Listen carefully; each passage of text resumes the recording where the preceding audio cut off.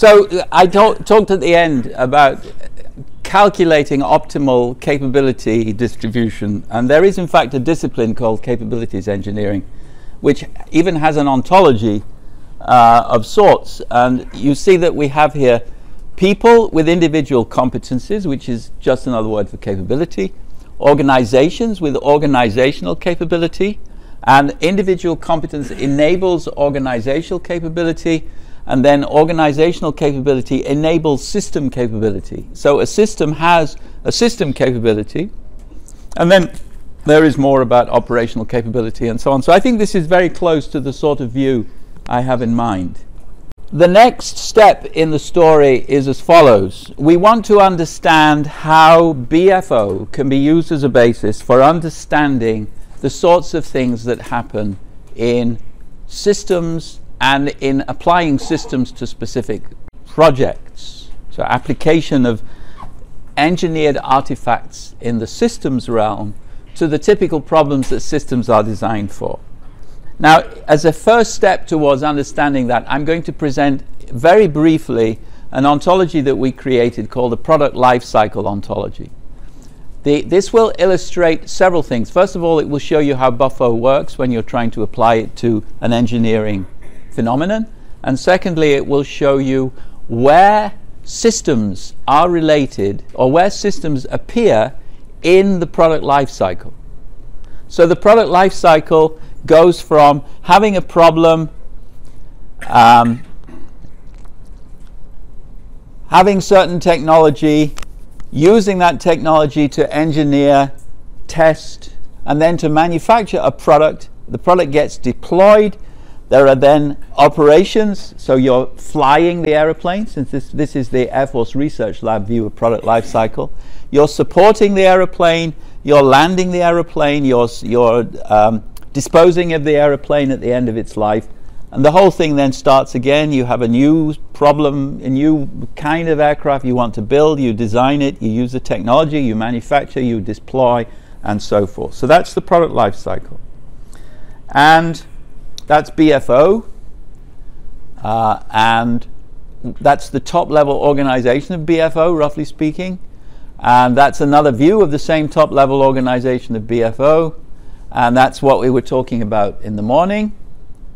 And a function is a special, special kind of capability, namely, it's the capability that the thing itself was designed to realize.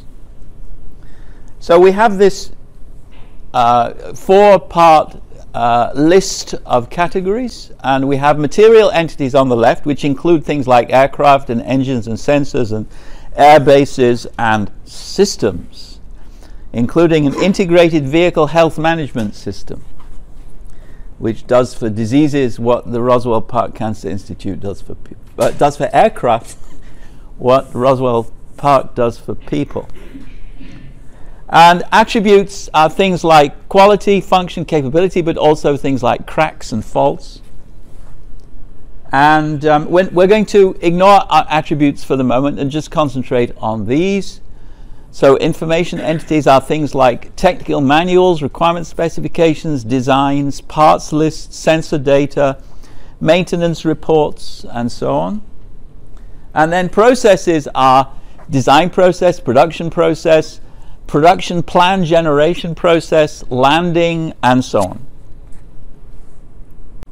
So these are the three categories we're going to focus on. And now we're going to do the product life cycle by viewing how these categories are realized in time. So we have the general category process. Then we have the child category planned process. That's what the, that's the processes that you're supposed to realize. And the aircraft has all, sorry, the Air Force has all kinds of plans for deployment of its personnel and its equipment. And the product life cycle is one kind of planned process. And it begins with a design process and then you have a production plan generation process, then a production process, then a maintenance process, interspersed with a use process when you operate the aircraft, and then followed by an end of life process. So we've seen all of this. And now we'll see an information entity. So the production plan generation process has an output, which is a production plan, which is an information entity. And the production plan guides the production process, which has an output, which is a product. And similarly, a maintenance plan generation process has an, output, a maintenance plan, which guides the maintenance process. And these arrows, and this is a very sloppy set of slides as you can see, but the arrows are all pointing in the direction of the all some rule. So uh, every production plan generation process has as output a production plan. Every production process is guided by a production plan, and every production plan guides a production process. Remember, this is the planned realm. This is the way things should be. Uh, so we have three information entities and we have various processes. But now we have something which is an actual material entity, a product. An aircraft wing has been generated through a production process guided by a production plan and so forth. And now these are more, more documents. Uh, there is a sortie, uh, which is guided by a sortie plan and which has as part a flight. And this is more informational support for the maintenance process. So aircraft maintenance is a really complicated affair. It costs, I can't remember now, a quarter of a million dollars to keep an aircraft in the sky. And if you have an aircraft in the sky which is going to need a certain widget on the other side of the Pacific Ocean tomorrow, it's very difficult to make sure you get the right widget to be in the right place in order to avoid huge costs, uh, particularly if you send the wrong widget. Then, then, then all right, so that's why you have all these documents, and now you have flights, which have flight manuals, and now we get to the systems part. So a production process has output of an aircraft, but the aircraft is part of a system which includes human beings, such as the designers and the machinists and the maintenance engineers and so forth up here. But they are also part of a system which includes things like factories and repair depots and, and aircraft base, air bases and energy supply systems and water supply systems and data supply systems and so on. And so these two and these two and these two and these two and these two, I mean two kinds of entities, yellow ones and blue ones, I'm going backwards, that's why it's going wrong. So these, two, these three now um, are all in the service of this. So these are the material entities, including the systems, which the product life cycle depends on. People, fuel and aircraft and weapon systems and ammunition and so forth, more people, more people, disposal people, and then a maintenance system, for instance, the vehicle health maintenance system, a, a fuel supply system, a utility system or a series of utility systems, infrastructure, so transport delivery systems to move fuel and aircraft around and so forth. So this is where systems go. And this is how we are to understand systems from a BFO point of view. They're all material entities. All right. So now let's see if we can use this to do the job of defining system. So only some of the things here are properly called systems, although the whole of what is here, I think, might properly be said to represent parts of one single system with subsystems as parts. And this, this brings us to the first um, uh, the point that I wanted to make, which we've already addressed at various points in the course of the day. So, systems tend to be embedded within larger systems. And uh, of course, there may be some ultimate largest system, which might be the whole universe, but most of the systems that we've been talking about today are embedded within larger systems. So let's suppose this is a rental car. It has a hydraulic system. Now, auto rental is very complicated. People don't understand the, the ontological beauty of rental car system. Uh, people think that rental car is a service, but it's not a service any more than car manufacturing is a service. It involves service elements, but it also involves manufacturing elements. So, the rental car hydraulic system is part of a larger system, which is the rental car company maintenance system. So that you keep the car on the road and you keep the car hydraulic system functioning because you have maintenance engineers who are in a position to maintain it. If, if all of them went away, your system would fail. Not immediately, but quickly. You would not have a rental car system anymore. Your enterprise would die. So they are an important, the system to which they belong, the larger system, uh, is an important, we can't say it's an element of this system, but it's an important backdrop to this system. Now, in order to have rental car company a rental car company maintenance system, you need trained rental car company maintenance engineers, which means that you need a maintenance engineer training and education system. You need people to teach people to be car maintenance engineers. And this is like biology. So you have carnivores like you and me, or at least I hope you and me. Um, and then you have the things that carnivores eat, and then you have the things which they eat, which are herbivores, and then you have plants, and then you have bacteria. And then you have the environment which contains inorganic nutrients. Now, no system created by the carnivores, including no car rental maintenance system, can exist without inorganic nutrients and without all the other things which we eat in order to live. And I guess inorganic nutrients, the inorganic nutrient system, which includes the sun, is part of the larger system in which the car rental maintenance system is embedded. Now, that means that in order to understand systems, we need to understand the environment.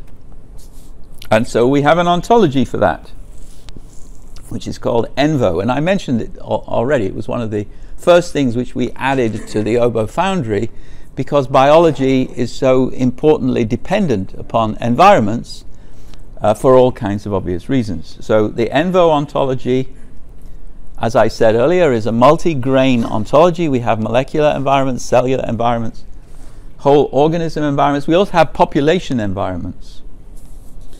And environments are something like sites. A site is a place this room is a site. The interior of this room, uh, this is a breathed environment for people. We can breathe, we can even eat in this room, but although there isn't very much food left. Um, we can certainly drink. Um, so this room is an environment, Buffalo is an environment, the United States is an environment, but also the corner of this room where there is a particularly interesting colony of bacteria is also an environment. And um, so th- this is an, another example of a site would be a cave in which a bear is living. Uh, but Manhattan is an environment. Uh, and, and now you have to understand that the term Manhattan is ambiguous. On the one hand, it can mean the physical collection of bricks and wiring and plumbing and so forth. But on the other hand, it can mean a site in the BFO sense, which means a whole a very, very complicatedly shaped hole in which people walk around and sleep and eat and so forth. And then the, there is the extended Manhattan, which is the sum of those two. And there is also the extended human being, so which is me plus my orifices. Because when I get an infectious disease, the infectious agent doesn't necessarily have to be part of me or inside me. It can also be part of my, or inside my orifices. So Words like cave, mouth, nostril, your car, your lab, your bed, and so on are all ambiguous as between Manhattan as a physical collection of bricks and Manhattan as a big hole with an H. And so there are now several different kinds of environments. Uh, there are, that's the environment inside an egg.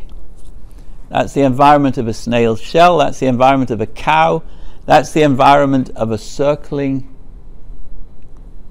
uh, buzzard, And the last one is, a, is your digestive tract, which is the environment for the trillions of microbiota which keep you alive.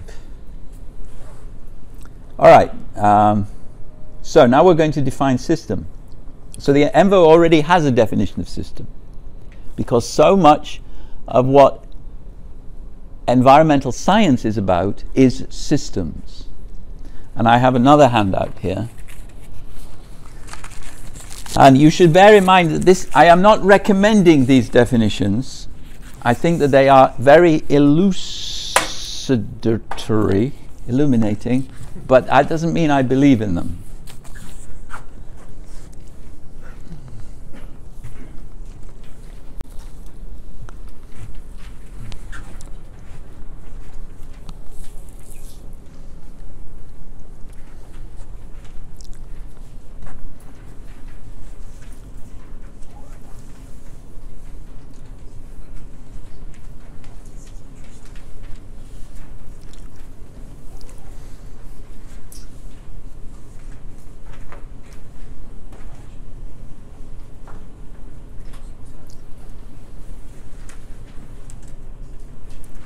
I'll just mention in passing that the ENVO uh, ontology is the centerpiece of the United Nations Environment Programme ontology suite, uh, which you can find at the UN website th- there.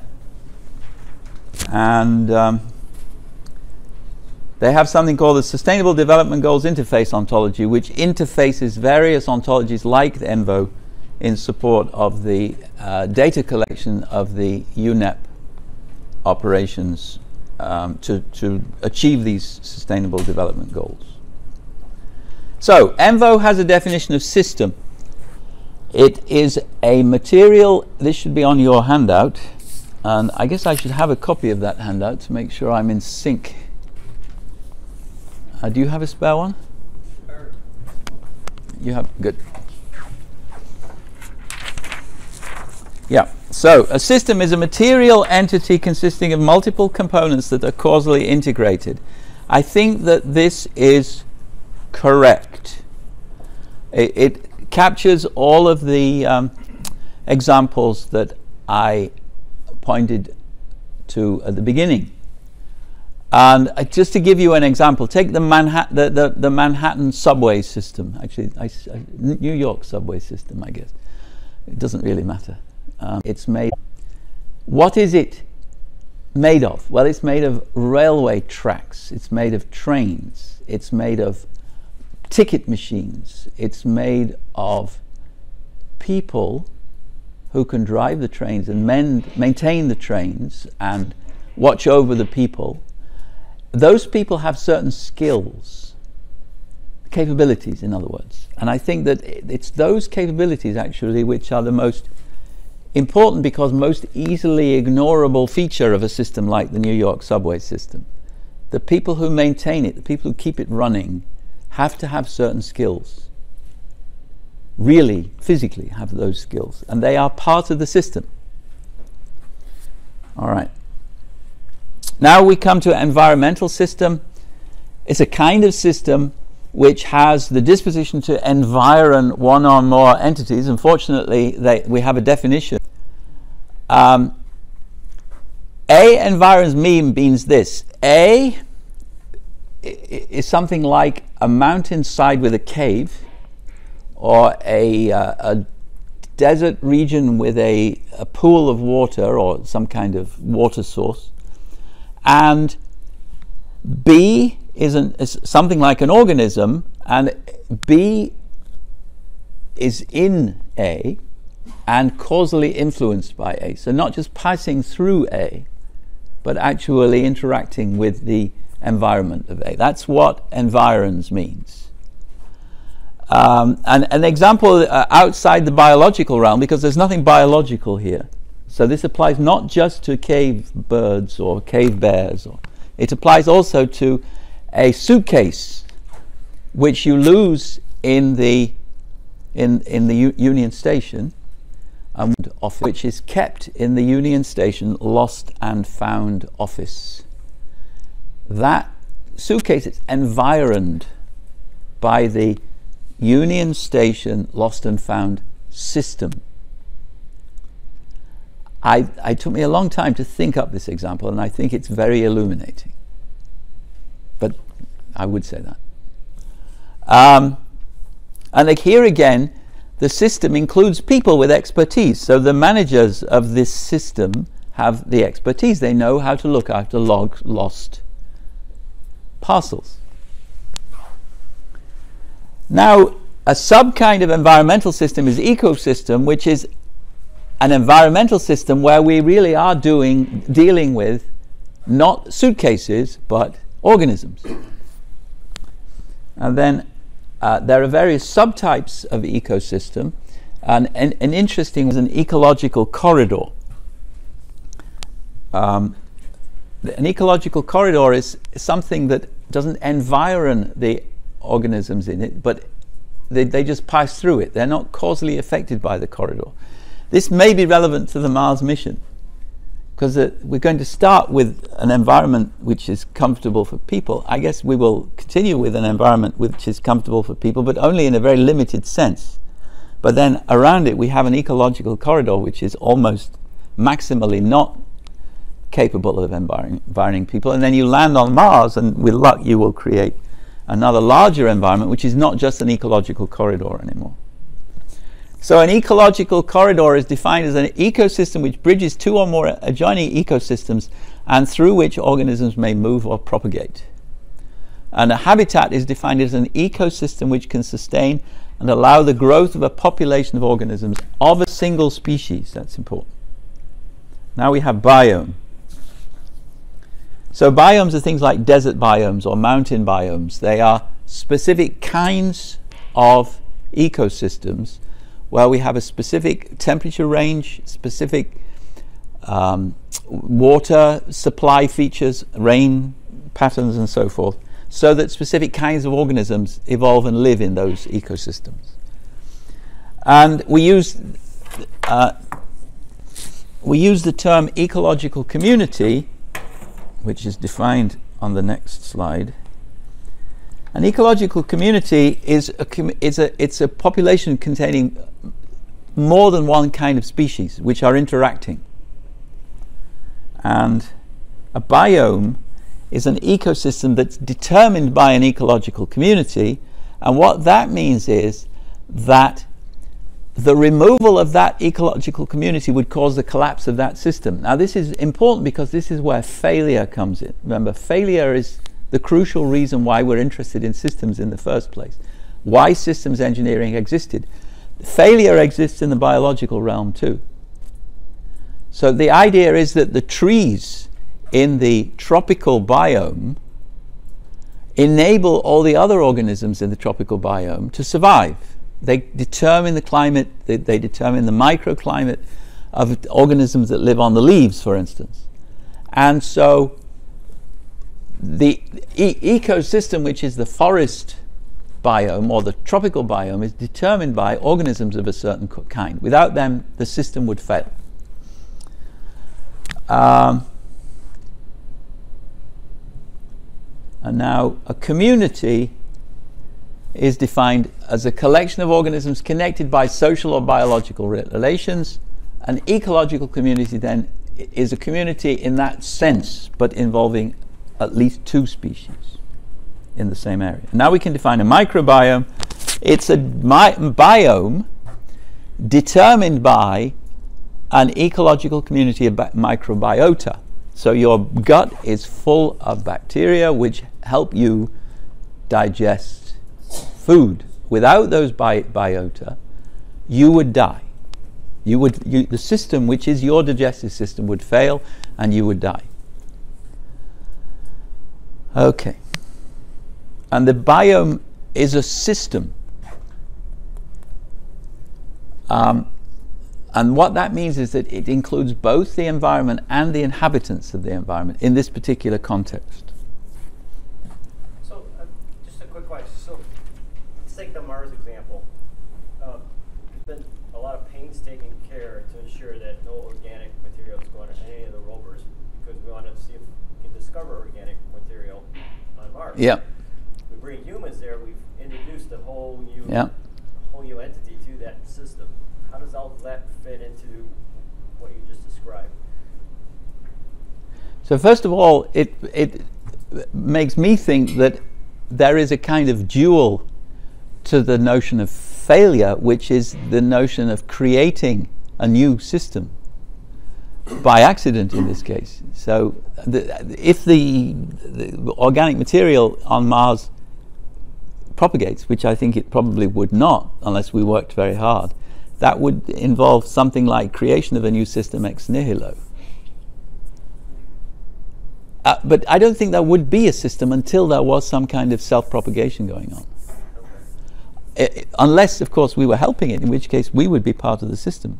and, and we'd need to be investing a lot of effort and skill and technology in order to make the organic material propagate, I would assume. I'm also assuming that it's going to be isolated from the rest of the environment in many, along many dimensions anyway, not perhaps every dimension. Um, so now, these are some examples of systems. So the solar system I mentioned at the beginning is, is being outside my purview because it, I don't believe that there is a notion of failure for the solar system. So if I, it doesn't seem to make sense to say that the solar system failed. If it would just come to an end naturally if the sun burned itself out or exploded and destroyed all the other planets. It wouldn't be a system failure. It would be the end of the system. And, um, and we talked about engineered systems. And I, I, mentioned that even a subway system is embedded in a natural system. First of all, it's the natural system of human beings which maintain it, but then also that those human beings need teachers, food suppliers, restaurants, and so forth, plumbers. Um, now, another example which um, is being worked on is that me causing the noise? Oh, is this? Jose, can you? Oh no, he, he can't talk to me. So, Jose, if you hear me, can you mute yourself? Okay, okay. Thank you. Um, so, trauma systems in hospitals are, I think, a really illustrative example of some of the points I've been ma- making. So, first of all, hospitals have trauma systems. They call them trauma systems, and people are trained to work within them to realize the, the function of the trauma system, which is to uh, accommodate emergency patients who are suffering from trauma effectively so that they are immediately or as quickly as possible taken to the right place and have the right operations performed upon them. And the interesting thing about a trauma system is that it has two states. It has the latent state, where the people just have their cell phones at the ready in case there is an emergency. And then there is the emergent state, which is when there are actual trauma patients on the way to the building where the system is located. And we have an ontology for that. And we built the ontology. I didn't build it, one of my co workers built it, and I'll show you a little bit more of it later on, to solve the following problem.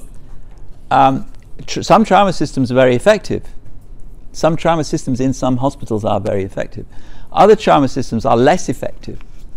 Now, a trauma system involves a certain kind of framework, an organizational framework. If we could build an ontology for those frameworks, and if we could associate the ontology with the, the actual trauma systems which exhibit these or those features, and then show by looking at outcome statistics that the trauma systems with these features are more effective than trauma systems with those features, then that would be very useful information to have. And, and so this was it, it was an NIH grant which was funded to build the ontology and test it in, in that kind of way. And there is a paper describing it here, which I will give you the link to also again later. Um, also, uh, these slides will be made available online. I guess can you put them on the CMIF site? I think so. I can. I will put them on my site also. So, um, uh, so this is the um, gut, and um, there are ten to the eleventh bacteria in your colon. You'll be happy to know. Some people don't have any bacteria in their stomach. Everyone has at least hundred. No, some people, everyone has at most 100, according to this. Anyway. Uh, so we define biome, uh, microbiome on the basis of our definition of biome. So the microbiome is a biome determined by microbiota. And now we can see the whole thing uh, as it works out in an ontology. So this is BFO in pink, and this is part of the PCO, which is the population and community ontology. Uh, so this is a collection of organisms, which is an object aggregate, and then the terms that we just talked about are here, including the sun. Um,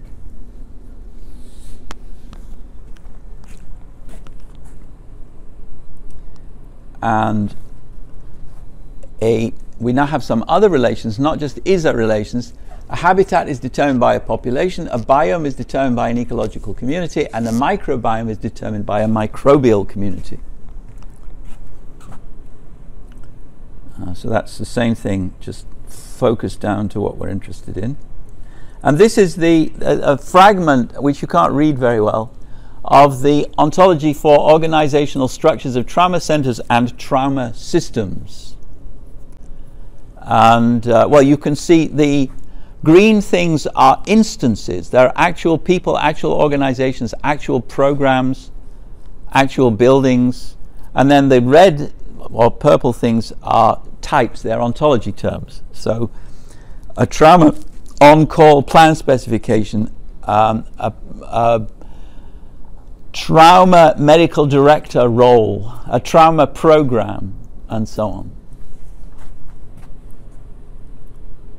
All right, now uh, some more features of systems which uh, grow more or less naturally out of what I just said. First of all, the trauma system is, is intervolved with uh, many other systems within the hospital, with the cleaning system, the plumbing system, but also with the, the surgeons are going to have surgical lives on non-trauma patients. And so you have an, an, an, there's no real line. This is your question about boundaries earlier. There's no real line between the trauma system and the, um, the rest of the hospital. And what this means is that the system, I think generally speaking, systems have fiat boundaries rather than physical boundaries. So a fiat boundary is a boundary that is, is created by fiat. We say, well, this is part of the trauma system, but that over there is part of the plumbing system. But we could have drawn the boundary in a different way because there's no physical discontinuity to guide us. And patterns are the same. So if we have the pattern, which is the pattern of letters on the screen here, then where does this pattern start and stop? Does it include all the margins? Does it include both the shadow here as well as the white margin? There is no one answer to that question. Does it only go as far as the letters or does it include the spaces between the letters? So that's characteristic of patterns that they have fiat boundaries. I said already that they're often parts of larger systems and therefore often have smaller systems as parts. Some systems have a self organizational property, but not all. Um, what that means is that they have within themselves their own repair mechanisms. This, I guess this must be the case for the Mars lander, that it can repair itself to some degree. It's certainly the case for human beings and, and for other organisms. Uh, it's not the case for um, product assembly lines in a factory. Um, I w- I won't say anything about the. Uh, well, I will actually. Yes, an army is a system. I it has all the capabilities, it has all the training, has all the features of systems. But now, what I think is interesting and therefore perhaps false is that when two opposing armies are fighting, they form a system. And what that means, if I'm right here, is that systems can include antagonistic components. And I guess that's true already for a single organism because we can have pathogens. Our microbiomes can contain not just friendly bacteria, but also unfriendly bacteria. But they're still part of the same microbiome, which is a system. All right, and now let's just, for the sake of um, curiosity, let's look at uh, some definitions of systems engineering. Um, so this is the ISO IEEE definition of systems engineering. It's an interdisciplinary pro- approach required to transform a set of customer needs into a solution and to support that solution throughout its life. I find that too weak because it doesn't give you a, any any view of the scale of the thing. So this would apply to a single customer um, who has a, a, has lost his toothbrush, maybe, but uh, it also doesn't deal with failure. It, it, it addresses the positive side, but it doesn't it doesn't emphasize that the, the reason why you need the discipline of systems engineering is in order to cope with the phenomenon of failure. Uh, this is the INCOSE definition. Um, so these are the component parts of systems engineering, and the idea is that the systems engineering integrates all of these disciplines into a team effort, forming a structured development process that goes from a concept to production to operation. So I guess that would cover the Mars mission. Um,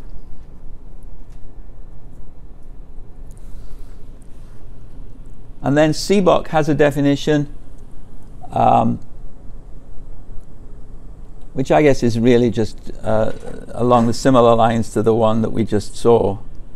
Uh, this is this relates to the earlier definition in that it emphasizes the ongoing intertwining of system requirements definition of system design, which means that we have constantly to keep the system alive and awake and functioning. And that again would apply to the Mars mission. So the systems engineering role in the Mars mission continues from beginning to end where the engineering role in manufacturing applies really only at the beginning. Once you have the production line going, then you need maintenance, but you don't need more engineering. And this is where this is the ISO page where you can find eight different definitions of system, um, which is a pity because ISO should have one definition. That's the whole point of having an international standard. Ah. Okay, now something went wrong here.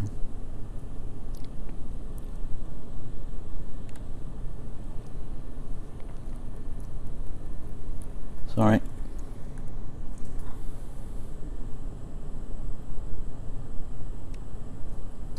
Maybe we can have questions at this point.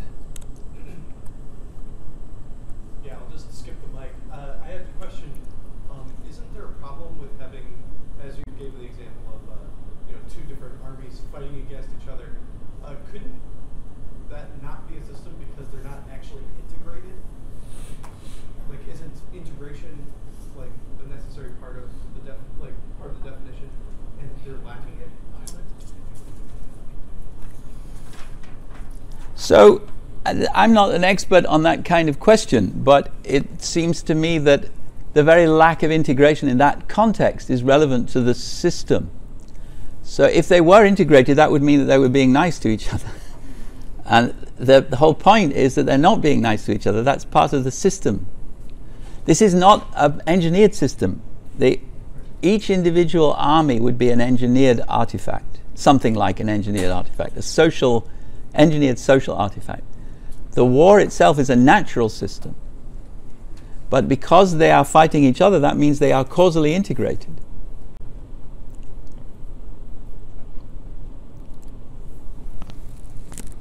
I have a question. Um, it has to do with the uh, inclusion of the notion of the environment of the system.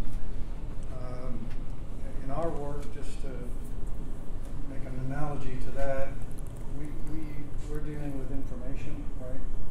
And we have uh, directed observational capability, sensors and things, humans even, uh, that I call focal information in my own speak. But those information systems also operate in a context. So there's contextual information. For instance, in military affairs, you may, how you interpret the observational data, the focal data, may depend, for instance, on the political climate, which is so. So here, uh, what I'm wondering, uh, I I see the notion of system as something, let's say, controllable, whereas notions of environment, to include in our case, we worry about weather effects, for instance, on sensors, but those those are not in our control. So they are not in our what's the right word? Space of thinking, so to say, of, of our notion of a system. Okay, So it seems to me that the those definitions that have implications, including considerations of an environment, so to say, are, I think, questionable in the sense that environmental things in many cases are not in your control. So You- I think You may still need to kind of take your best assessment of what the impacts might be, but it, it- it muddies the definition a little bit to me. Okay, so first of all, I think this is a very interesting choke point here. So, most of the standard definitions of system, including the ones created by INCOSE and SEBoK, allow that there are natural systems. And mention the solar system in, in that connection. And we're certainly, the, the solar system certainly is not under our control. But it is very much like an engineered artifact from some perspectives. We might build one. Um, secondly, digestive systems look very much like some engineered artifacts that you might find in a food processing plant or somewhere like that. And also, increasingly, systems inside the organism, which are natural systems, are being brought under control. So the more we have uh, um, uh, implanted devices in our bodies, the more that means that we are using engineering skills in order to control biological processes. So I don't think that there is quite such a sharp line between the two as you suppose. Moreover, I would say that, and that actually this brings me back to one of my first points. The reason why we have systems engineering is because the DoD pays for it. Why do they pay for it? Because war uh, or because things, bad things happen when you have military, pro- military operations going on, mainly because war. Now, war. So you have systems engineering because war. That doesn't mean war is a system.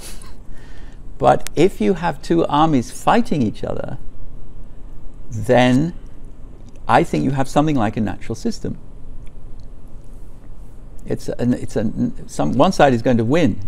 We assume other things being equal, other things not being equal. Um, but as I say, I, that's not something that I am particularly confident about. Whether whether if you have two armies engaged in a war, then you have a single system. There are all kinds of things which point in its favor, though. A chess game, for instance, it looks a bit like a system, and we, it's not in our control. It's we control it, but neither of us controls it alone. Well, okay, I, as I say, it's, uh, the, the system, the system engineering process, if I go back to your, one of your pre-lunch slides. Yep. Is, is the creation of, I forget the phrase now, interconnected artifacts Yeah. and functions and so on, right? And the maintenance, and the maintenance of those things. um, But that implies of defining those piece parts. I agree. The goal of systems engineering is to um, to solve people's problems, complex problems, in such a way as to create products, uh, which I assume are going to be called systems, engineered systems, which will address those problems on an ongoing basis. So the, the, the, the thing which is created, the system will address those problems, not just today, but also for as long as the need is present. Now, a war is, or a conflagration between two armies is certainly not a system in that sense. The question is whether it's reasonably called a natural system. So I accept that there are engineered systems. You don't accept that there are also natural systems. And I, I think we can agree. that systems engineering is about engineered systems, and we are trying to define what that might mean. And part of that definition involves defining what a system might be. Now, I think that the, one of the clearest examples of a system is the digestive system. Now, th- this, this is the point we reached in Washington. And then the next question was well, if the digestive system is a system, perhaps the whole organism is a system. And if the whole organism is, is a system, then there wouldn't be any, dis- any disjointness between object and system. And so you could have a washing machine be a system. And a washing machine contains many parts which are integrated. They work together to achieve a goal. They need maintenance. Why wouldn't, why wouldn't you say that a washing machine is a system? And here I, I say no. and a single object cannot be a system. It can have systems as parts, um, but it can't be a system. And BFO is actually neutral still, but there will come a point where BFO will have to, to make a decision on this point and determine how to classify systems. The notion of uh, boundary in a way, Yeah, it's right? yeah. So I, I guess I'll just try to project to go without the mic. Um, is of the washing machine, are you saying then that an aircraft or a power plant is not a system? I would have to say that for the aircraft. The power plant is a bit. If it's a small self-contained power plant, then no, it can't be a system. Uh, if it's a larger collection of buildings and and and, and structures, then it might be a system.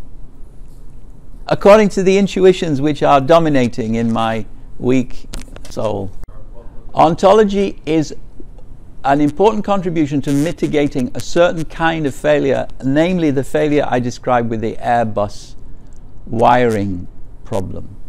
So it will, to the extent that those kinds of incompatibilities of terminology and of database design are contributing to larger systems failures, then ontology can help. Okay, so my question is actually, have you defined failure? So the question is, I have used the term failure. I've claimed ontology can mitigate failure uh, in one particular way, but have I defined failure?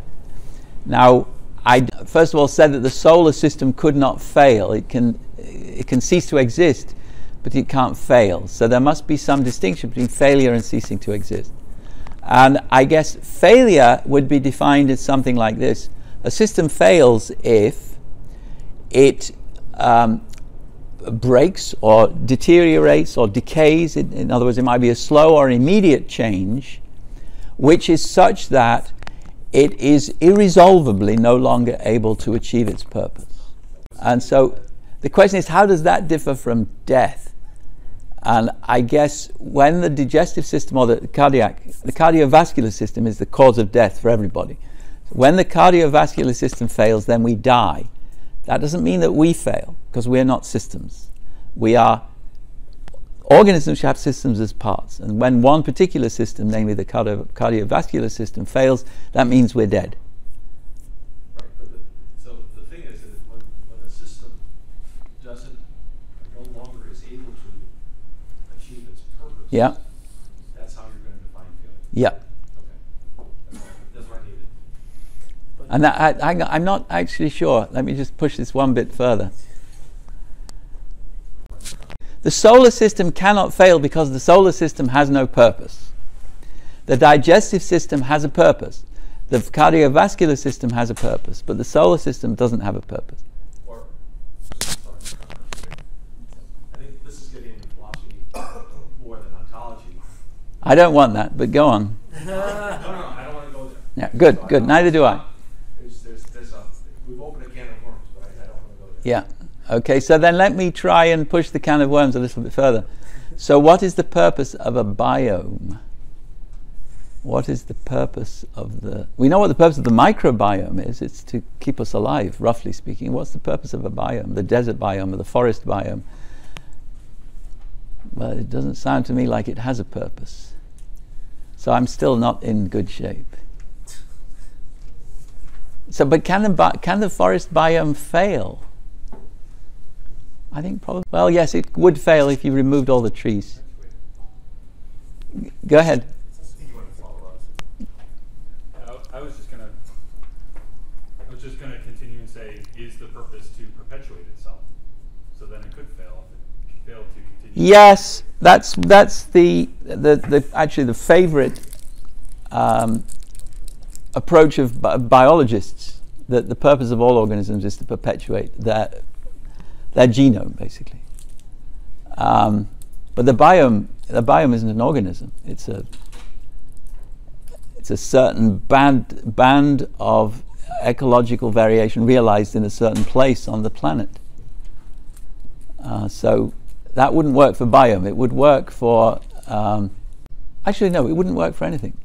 So organisms don't have purposes. Oh, you know, you're saying organisms do have purposes. So, in other words, organisms could fail if they die. But no, an organism dying isn't necessarily failing because it may have perpetuated its, its, its genome. It, in, some organisms die in reproducing. So dying in that case is not a, a, sign of failure, it's a sign of success. But still, it satisfies your criterion. So I cannot say that organisms do not fail because they have no purpose, because you will come along and say the purpose of organisms is to perpetuate their species or their genome. I would say organisms still cannot fail because organisms are not systems, and only systems can fail. uh, because I'm interested in the. The, the biome, the like the forest ecosystem. Yeah, but then- If, if the external environment is larger, Yeah. makes it fall apart, then that forest no longer continues to function as a forest and it fails. It becomes desert. So there are some people who think that environments have value, innate value, and that we should preserve them. Uh, we all think that our own environment should be preserved, but that's because we all desire to preserve ourselves and our offspring. Um, I think the people who think that environments have to be preserved are making a mistake. And so I still don't see a reason for believing that the, an environment can have a purpose.